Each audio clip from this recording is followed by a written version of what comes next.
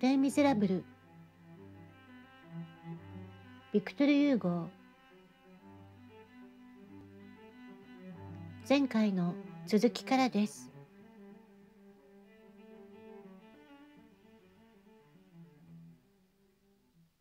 15カンブロンヌ。フランスの読者は作者から尊敬されることを欲するであろうからおそらくフランス人がかつて発し得た最も立派な言葉をここに繰り返してはいけないかもしれない。歴史中に崇高なものを立証することは禁制である。しかし御人は危険と災禍を試みずしてその禁制をも犯したいのである。故にあえて御人は言う。それらの巨人らのうちになお一人のタイタン族がカンブロンヌがいたのである。あの言葉を発して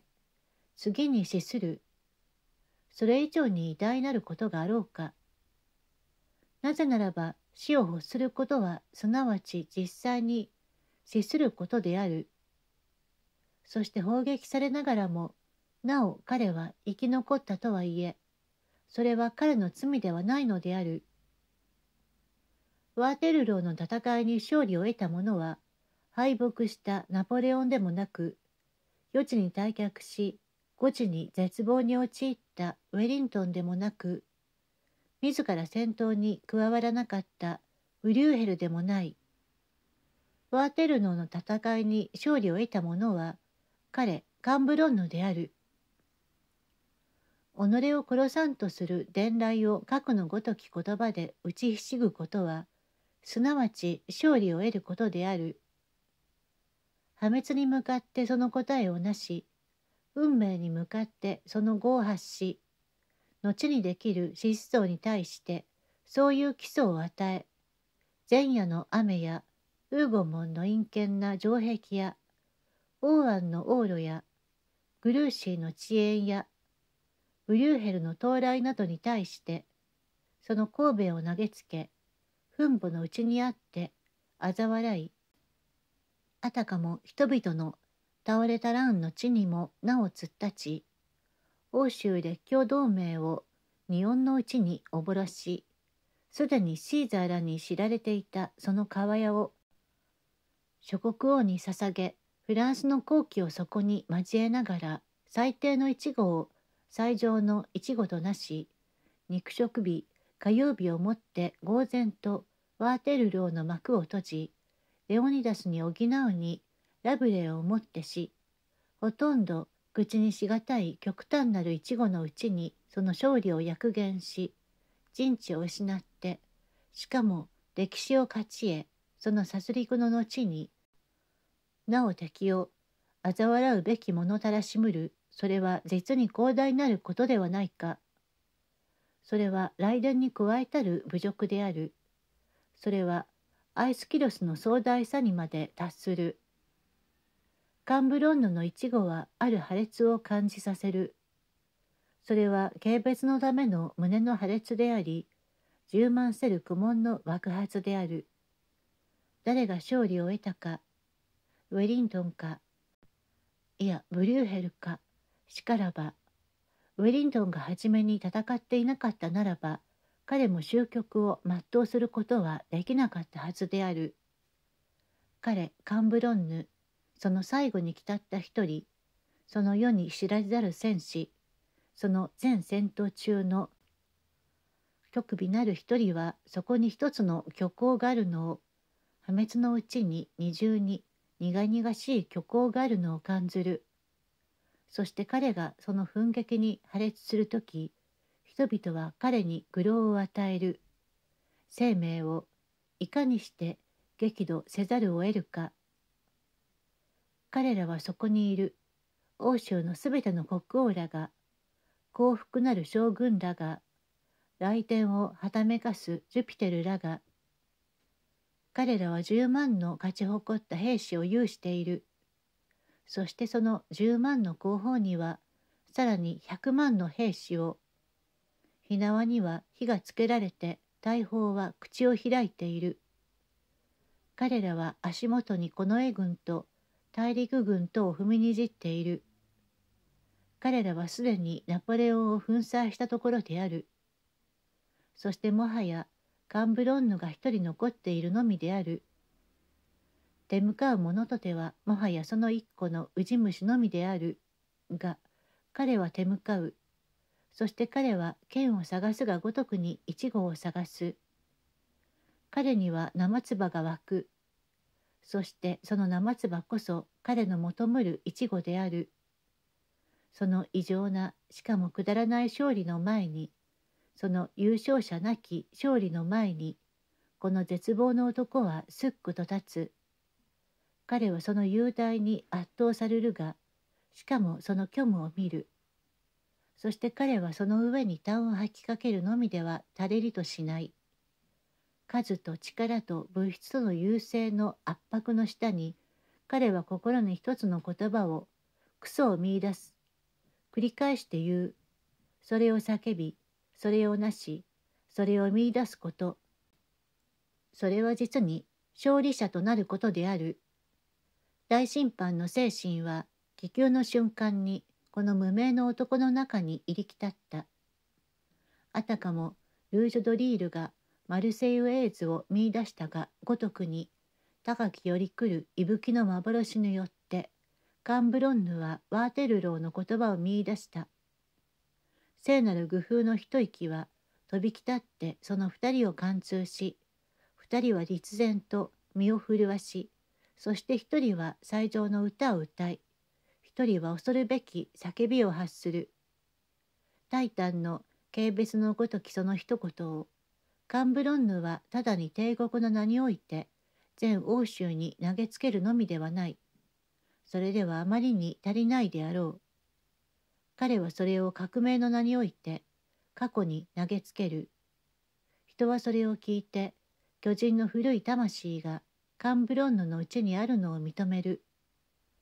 語るはダントンであり、怒号するはクレベルであるかのようである。カンブロンヌの一言にイギリス人の声は答えた。撃て。法烈は火災を発し、小川振動し、それらのすべての聖堂の口からは、最後の恐ろしい三段の噴出がほとばしり、地平を出る月の光にほの白く見える広い煙は巻き上がった。そして煙が散じた時にはそこにはもはや何も残っていなかった。恐るべきザンペーラは殲滅されていた。この絵は全滅していた。生きたる革命後の私壁はそこに横たわり、ただ死骸の間に、そこここに、うごめきがようやくに見られるのみだった。核のごとくしてローマの軍団よりも偉大なフランスのこの絵諸連隊は雨と血潮とに湿った地上に陰惨な麦畑の中にモンサンジャンにおいて消滅したのである。今やその場所をニベルの郵便馬車を御しているジョセフが朝の4時に口笛を吹きつつ床上げに馬を鞭打って通るのである。16指揮官へは何ほどの報酬を与うべきか。ワーテルローの戦いは一つの謎である。勝利者にとっても敗北者にとってもそれは等しく無辜たるものである。ナポレオンにとってはそれは一つの強行であった。そしてブリューヘルはそこに放火を見たばかりでありウェリントンは少しも理解するところなかった。報告を見てみるがよい。作戦日誌は曖昧であり、記述は混乱を極めている。後者は口の中でつぶやき、前者はどもっている。ジョミニーはワーテルローの戦いを4つの時間に分けている。ムッフリングはそれを三段の変化に区分している。シャラスのみがただ一人、ある点については御人は彼と異なった見解を有しはするがとにかく鋭い眼光を持って聖なる運命と争う人間の勢力のその破滅の特性をつかんでいる。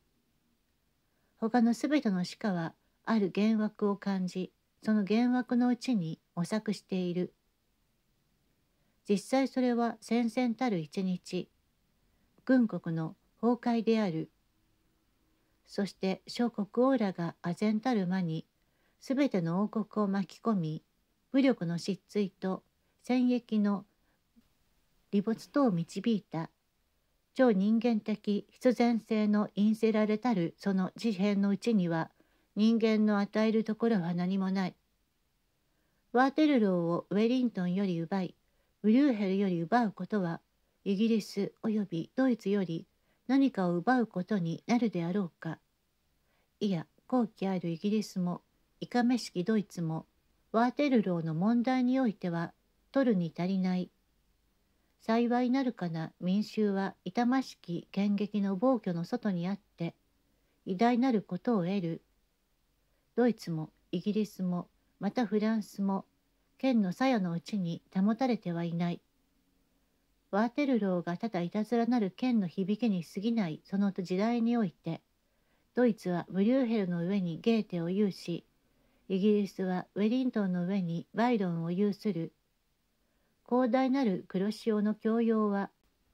19世紀に固有のものであり、そしてそのあけぼののうちに、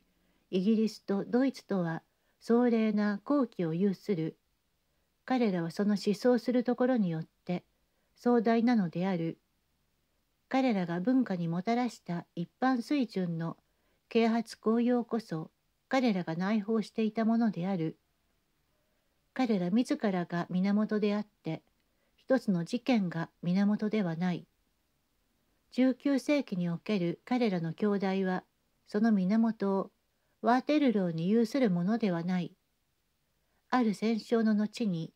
急速なる成長を遂ぐる者は、ただ野蛮な民衆のみである。それは暴風雨のために一聴した水流の一時の不和に過ぎない。開花せる民衆はことに現代においては、一少子の幸運不運によって地位を上下するものではない。人類のうちにおける諸民衆の特有の重みは単なる戦闘以上の何者かに由来するものである。幸いにもその名誉、その威嚇、その巧妙、その才能は、あの山下る英雄や、勝利者らが戦闘と称する陶器にかけることを得る才の目ではない。往々にして戦勝を失いつつ進歩へ